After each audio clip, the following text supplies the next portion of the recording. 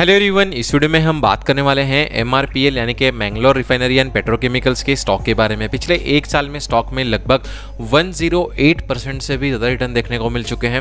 अभी देखिए दोस्तों स्टॉक यहाँ से थोड़ी सी गिरावट देखने को मिली है और यहाँ से स्टॉक ऊपर की ओर बाउंस करते हुए दिखाई दे सकता है क्योंकि एक मेजर इंपॉर्टेंट सपोर्ट लेवल पे आ चुका है। सपोर्ट जोन की बात करेंगे तो वन से लेकर टू का एक मेजर सपोर्ट है। स्टॉक मल्टीपल टाइम इसी लेवल पे आने के बाद यहीं पर सपोर्ट ले लेकर ऊपर की ओर बाउंस करता हुआ दिखाई दे चुका है। पॉसिबिलिटी ज़्यादा ही रहेगी स्टॉक में, यहीं से तेज़ी, यहीं से ऊपर की ओर बाउंस हमें देखने को मिल सकता है आने वाले दिनों में।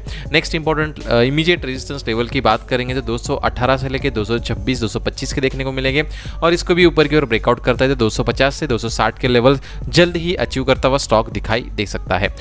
देखिए दोस्तों सीनारियो सेकंड की भी बात करना ज़रूरी है। इन केस इस सपोर्ट जोन को ब्रेक कर देता है नीचे के साइड में तो 180 से लेकर 185 का नेक्स्ट इंपॉर्टेंट सपोर्ट जोन इसके लिए होने वाला है।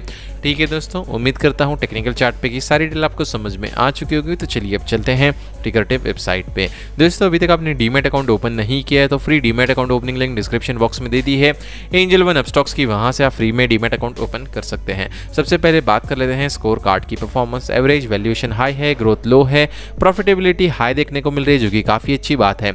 एंट्री पॉइंट में अगर हम देखेंगे तो स्टॉक अंडर प्राइस भी है ओवरबोर्ड जोन में भी नहीं है तो आप यहाँ से एंट्री ले सकते हैं as per ticker tape website और अनदर मेन इंपॉर्टेंट चीज़ यहाँ पे नो रेड फ्लैग दिखाई दे रहा है। जब भी आप कोई भी स्टॉक में एंट्री का प्लान करते हैं तो एक बार ज़रूर नो रेड फ्लैग चेक कर कर ही उसमें एंट्री का प्लान करें। अगर कोई स्टॉक में रेड फ्लैग दिखाई देता है, उसको अवॉइड करना ही बेहतर होता है। ठीक है दोस्तों मिड कैप कंपनी है, जिसका मार्केट कैप थर्टी फाइव का देखने को मिलता है और स्टॉक में हमें हाई रिस्क देखने को मिल जाता है। तो चलिए दोस्तों चेक कर लेते हैं फोरकास्ट एंड रेटिंग एनालिस्ट हमें क्या सलाह देते हैं बाइंग की?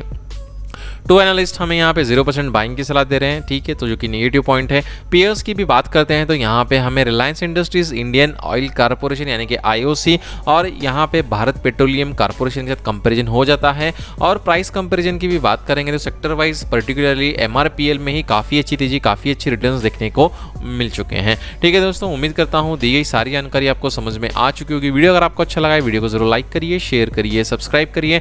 वीडियो जो है सिर्फ़ और सिर्फ़ एजुकेशनल पर्पज़ के लिए बनाई गई है, कोई भी बाइंग रिकमेंडेशन इस वीडियो में नहीं है। वीडियो अगर आपको अच्छा लगा ज़रूर लाइक करें। चलिए मिलते हैं नेक्स्ट वीडियो में, तब तक के लिए टेक केयर